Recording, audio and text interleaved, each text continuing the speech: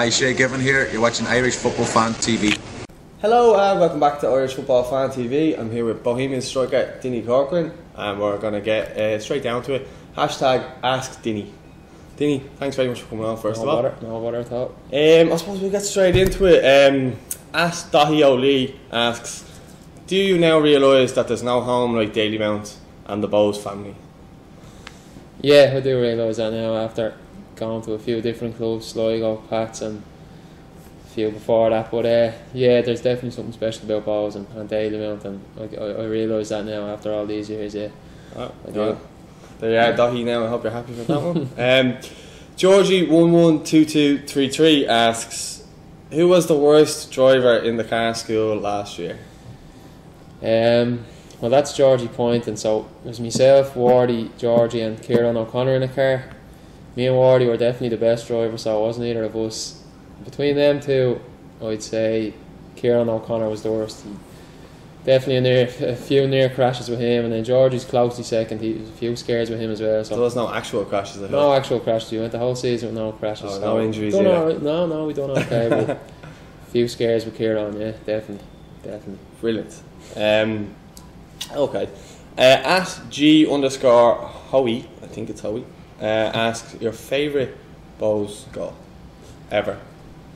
Doesn't Um, have to be from this season. yeah, no, uh, it is this season. There's two this season. The one against Drogheda away, I like that one because it was so unlike me. It was like 30 yards out or whatever, and that's not me at all. I, I rarely score outside the box, so I liked that one. And then of course the one in Tallaght, the winner in Tallaght was the, the occasion was definitely the best. So uh, yeah, that's definitely my favourite goal, the one in Tallaght. Okay. Yeah, definitely. Rovers fans look away now.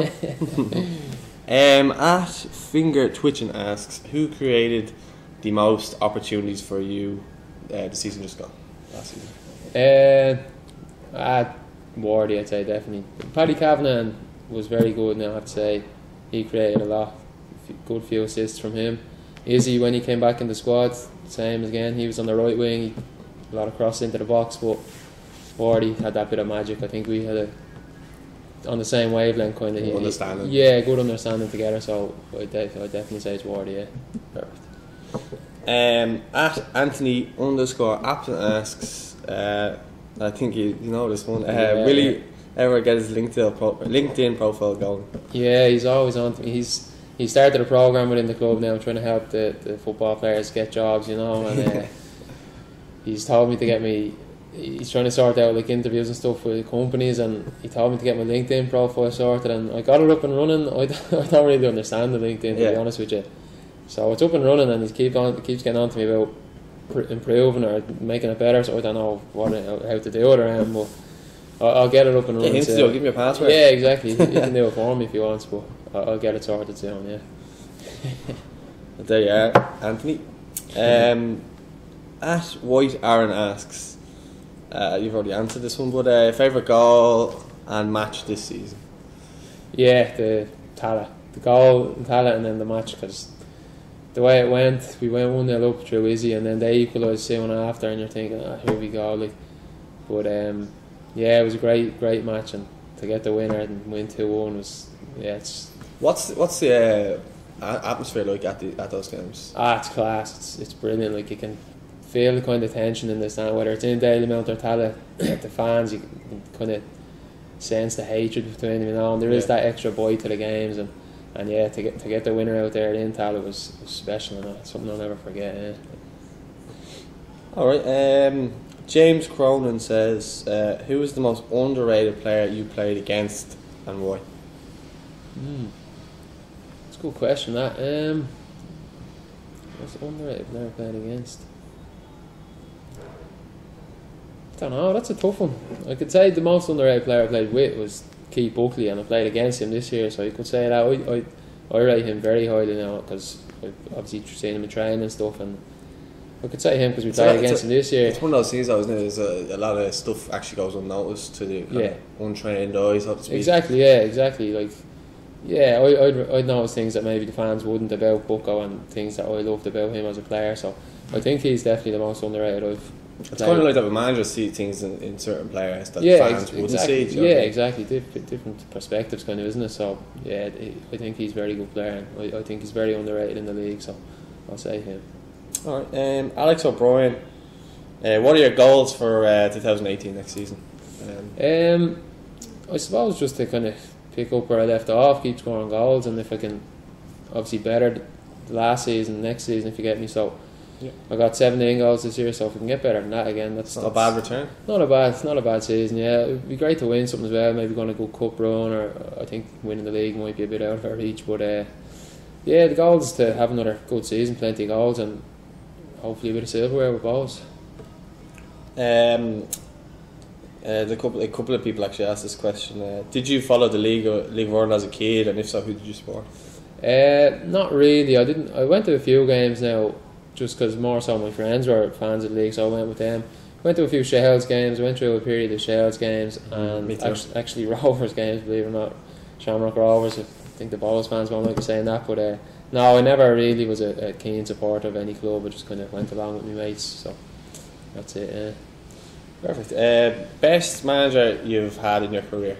You don't have to say the one that you currently have. Yeah. if he Well, is, then yeah. Yeah, no, there's two. There is, I think Keith Long is actually one of them, and I'm not just saying that because he is, but I think the relationship we have kind of on and off the pitch, I get along with him as a person as well as a manager, you know what I mean? And I think he, not just me, I think he's a great manager for everyone, he's great man management, and, and um, he's kind of a good mix of like being one of the lads and being our manager, you know what I mean? You don't Yeah, want the manager who, balance. yeah, there's a balance there, you can have the crack with him. But then at the same time, when he's serious, he's, he gets the respect from the players. You know what I mean? Yeah. So definitely him and Micky Adams. I didn't have him for long now at Sligo, but Micky Adams, who managed in the Premiership, he, he was the same. When he Leicester, came, wasn't he? In Coventry. Leicester, yeah, and- yeah, because when he came into Sligo, it was it was a bad dressing room at that time. We weren't playing as well as we should and stuff. Things were down, confidence was low, and he just changed that all. He got a feel, a good feel to the dressing room. Him and the coach, you know, the two of them together worked very well, and he, yeah, he just got a togetherness back in the dressing room, and and, and of course the way the, the training and stuff was, was top notch, and his his professionalism, you know. So I think I definitely learned a few things from him, even though it was only I think two months he was there. You could see, Yeah. tell how he's managed the Premiership. Yeah, yeah, think. kind of his, his, his uh, professionalism, like I said, and his, he, he'd never let your standards drop. You know, he'd always make sure you're you're performing. So yeah, I'd say them two now. They, them two stick out in my career. Yeah. Well, you're not finished kind of playing with Keith as well. yeah, so- exactly. So So it's probably a better question to ask, uh, maybe at the end of your career. Maybe. yeah, maybe I, I'll be changed in my opinions then, but no. Um, the toughest defender you've came up across? Um, I think that's gonna be ever. Yeah, there's two I think within the league. One is Kenny Browne, He's with Waterford now. He's just he's just strong. He's a big physical player, like, and you, you never you never get a second on the ball with him. He's he's, he's very tough to mark, like say. And then the other is Andy Boyle, off- who was with Dundalk, who's gone to Preston now. Preston, Obviously, yeah.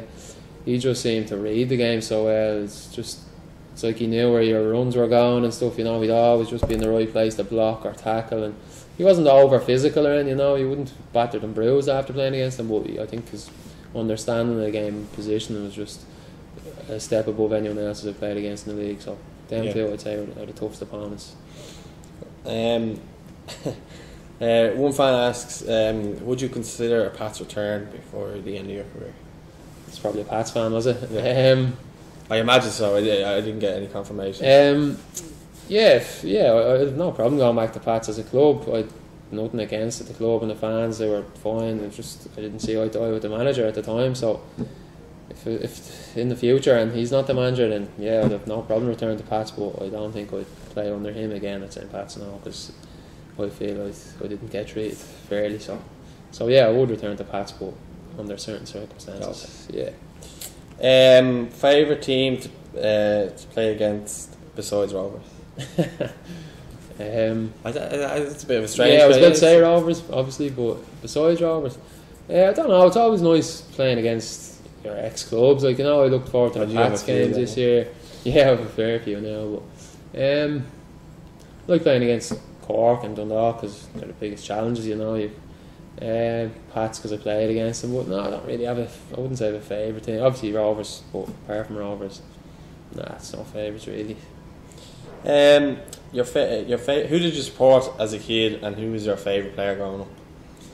Uh, Chelsea fan, die-hard Chelsea fan.